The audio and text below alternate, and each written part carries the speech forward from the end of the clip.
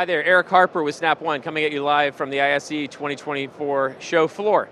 Our theme this year is about helping our partners build stronger businesses and together delivering better end customer experiences.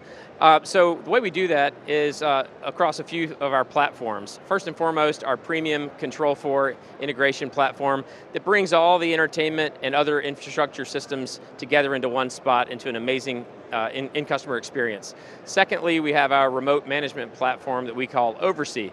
That really facilitates the deployment and configuration and service of those systems and really makes it more efficient for every technician hour that is spent on a project. So not only is it the speeding up the, the, uh, the, initial configuration of the job, but also the service after the sale. When we look at our AV over IP line called MOIP, uh, this is, again, leveraging the power of all of our uh, HDMI and other distribution capabilities over the network, as well as our Araknis networking offering that brings all that together uh, under a very easy to use uh, interface and quick setup again.